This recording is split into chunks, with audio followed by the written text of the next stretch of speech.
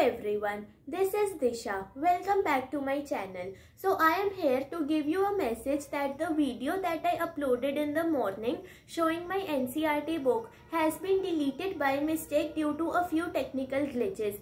सुबह वाली video delete हो चुकी है बाय मिस्टेक जिसमें मैं अपनी एनसीईआरटी की बुक शो कर रही थी so I have uploaded it again अगर आप उसे दोबारा देखना चाहते हो आप देख सकते हो